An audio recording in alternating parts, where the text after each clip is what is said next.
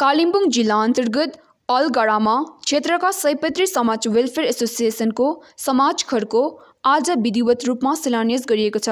भाइहरू पट्टी लाएर मास्क लाएर चोर जस्तो भएर यति लामो खुकुरी बोकेर हिँडेर रात दिन दुनियाँभरको तमासा गर्नु थाल्यो। यो हुँदैन किनकि प्रत्येक आमा म पनि एउटा आमा भएको कारणले गर्दा प्रत्येक छोराछोरीलाई मेरो छोरा गोर्खाल्यान्डको आन्दोलन गर्नु पठाएको थियो त। कसैको खुकुरी बोकेर पट्टी लाएर गाडी फोड्ने घर जलाउने पट्टि पठाउनु भएको थिएन।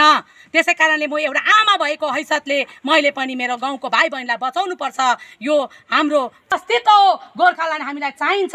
म गोर्खाल्यान्ड चाहिन्छ तर गोर्खाल्यान्ड जहिले पनि सरकारसँग मिलेर हुन्छ यहाँ आन्दोलन गरेर हुँदैन टेबल टक गरेर हुन्छ भनेर भनेपछि चाहिँ त्यहाँदेखि चाहिँ उहाँ गएर अनित थापाज्यू र विनयको भाइहरू पट्टी लाएर मास्क लाएर चोर जस्तो भएर यति लामो खुकुरी बोकेर हिँडेर रात दिन दुनियाँभरको तमासा गर्नु थाल्यो। यो हुँदैन किनकि प्रत्येक आमा म पनि एउटा आमा भएको कारणले गर्दा प्रत्येक छोराछोरीलाई मेरो छोरा गोर्खाल्यान्डको आन्दोलन गर्नु पठाएको थियो त। कसैको खुकुरी बोकेर पट्टी लाएर गाडी फोड्ने घर जलाउने पट्टि पठाउनु भएको थिएन।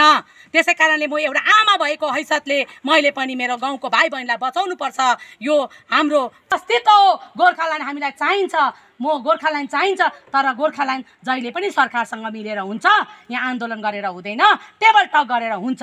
भनेर भनेपछि चाहिँ त्यहाँदेखि चाहिँ उहाँ गएर अनित थापाज्यू